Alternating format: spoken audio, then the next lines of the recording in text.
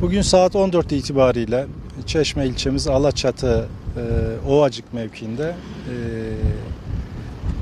bahçelerinde çalışma yapan vatandaşlarımızın yaptığı çalışma sırasında e, otluk alana bir ateş sıçrıyor ve bölgedeki makilik alan hızlıca tutuşmaya başlıyor.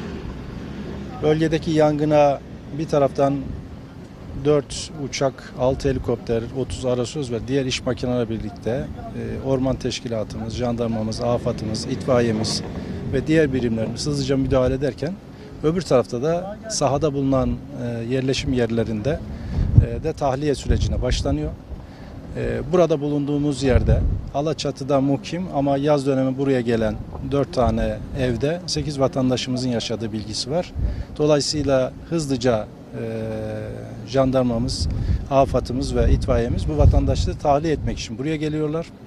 Geldiklerinde vatandaşlar e, evlerini terk etmişler.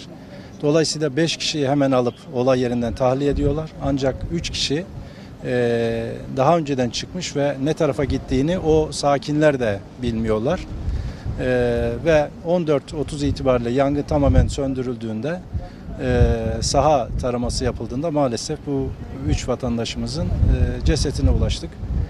Bu süre zarfında hem jandarmamız hem afatımız hem itfaiyemiz bu üç vatandaşımızı yangın söndürme çalışmasında sürekli e, karadan ormana ait helikopterlerimiz bir taraftan yangın söndürürken bir taraftan da havadan da vatandaşlarımı aradı, ar- vatandaşlarımızı aradılar ancak kendilerine ulaşamadılar.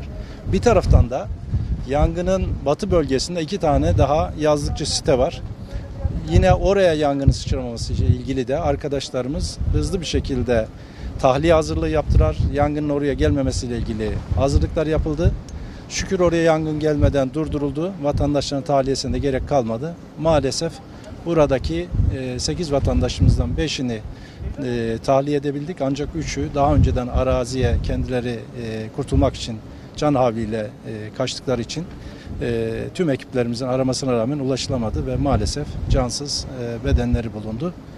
E, biri 65 yaşında, diğeri 40 yaşında iki erkek.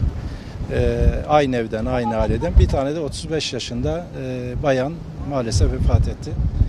E, milletimizin başı sağ olsun. Allah rahmet eylesin. Efendim peki gözaltı var mı olayla ilgili bir Var. gelişme? Bu e, bahçede çalışma yapan ve e, ateş e, or şeye otluk alanı ardından ormana sıçrayan bölgede çalışma yapan e, 4 kişi jandarmamız tarafından gözaltına alındı.